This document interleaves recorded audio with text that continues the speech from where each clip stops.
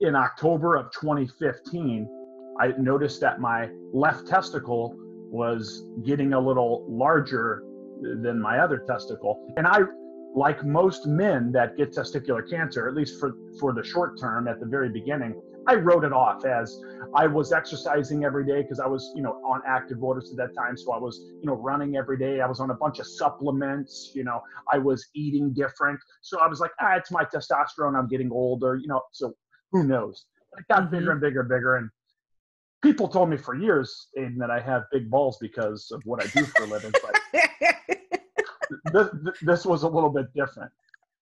Um, so, and, and, in the scientific uh, reference to this, and I'm hoping that you'll share some pictures. I'll send you a great a great photo, not of my testicles, but yeah, the, it will depend on the photo you send whether I share it sure. or not, and also okay. how our relationship moves forward. that, that's a good point. Good point.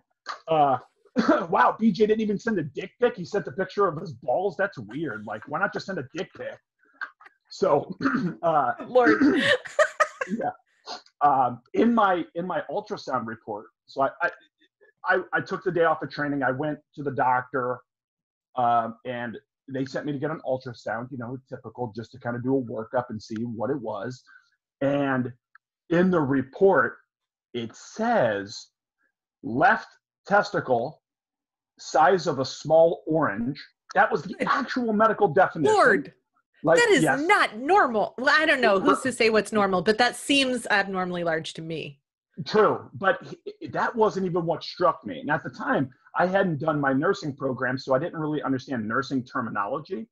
It then said, however, right testicle remains unremarkable. And I was angry. I was like, what do you mean unremarkable? I think my testicles have been done some pretty important things. So it's like in the Phantom Toll booth where the, that one character is like, "It's all in how you look at things." Yes, you know? Exactly. So uh, that led to surgery. I had a left radical orchiectomy. They removed my left testicle. A few days later, they got the pathology back. It was testicular cancer. I, I later did chemotherapy, and then in July of 2016, I I got uh, medically retired temporarily from the Air Force. That was a very grueling process and a, a story for another time. But that was very emotional for me. It had a big emotional toll because I identified on one, you know, I'm a professional actor. I live in LA, and this is what I've been doing for you know 15 plus years professionally, and this is where I want to be. But on the side, part time, I was in the Air Force Reserve as a medic, and that became a very big part of my heart. So when I got medically retired, it really it really kind of hurt me uh, mm. inside. What we, I guess, that was the beginning of my invisible wounds. So I came home in July of 2016, um, and so basically about a year after I originally left, I wasn't even supposed to be gone for that long, but because of my cancer diagnosis, it just kept extending. Plus, I was going through treatments and things like that. And when I came home, I had to adjust. I was back in LA, back to my normal civilian life, now dealing with this recent cancer diagnosis, and I was in remission. And I was understanding what it's like to be a veteran. That's a weird thing for somebody. I, you know, didn't understand the VA system. I didn't know how I was going to get healthcare because I had healthcare from the military, and now I have this new thing with the VA. And how does that work? And oh yeah, so, yeah, yeah, yeah. It was it was there was a lot going on. So if I had to categorize that whole experience, that wasn't that bad. Huh. However, yeah, because I and I tell people all the time, like I treated my initial diagnosis like a military mission. What do I have to do? What tasks do I need to complete?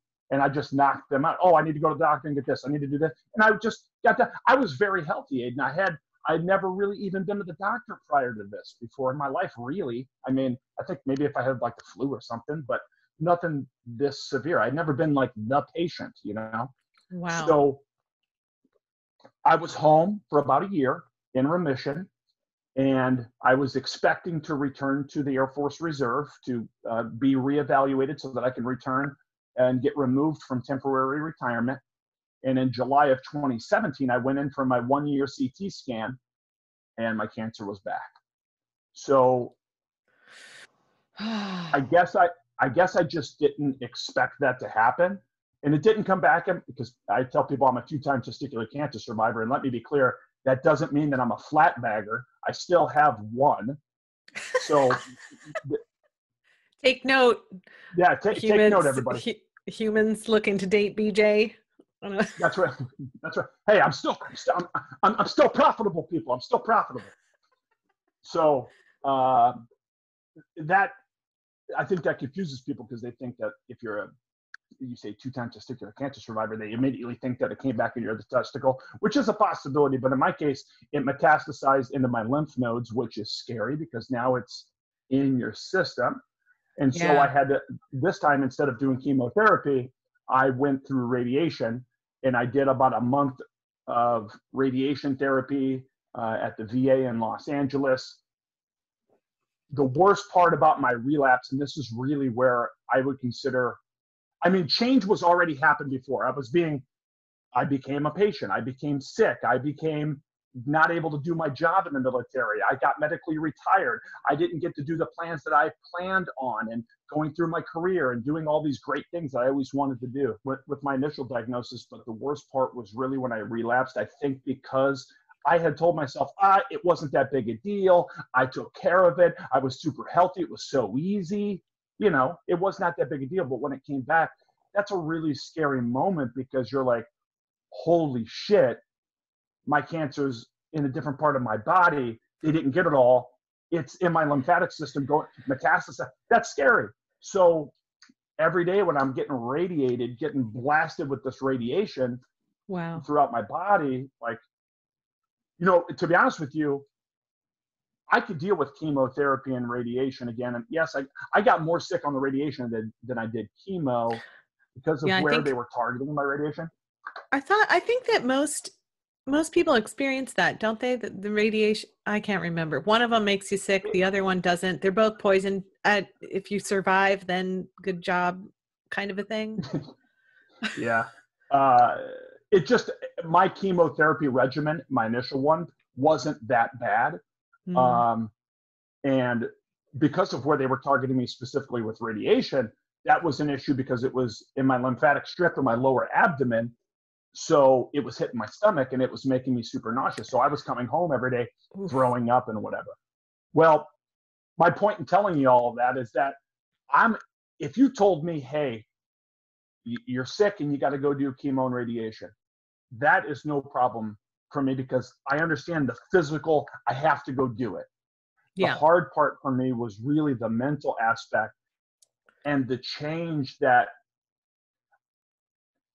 it really kind of sunk in that I was at that point sick, like that this could be a problem for the rest of my life. I mean, here's another enlightening thing that I think a lot of people, especially if you've never dealt with a se- severe illness or a chronic illness or whatever, my day to day life, especially from the year following my relapse, became going to the doctor. I mean, I had I have tw- I have 12 different specialties that I see. I not I don't just go to the doctor, you know, every year to go see my I see my primary every 3 months.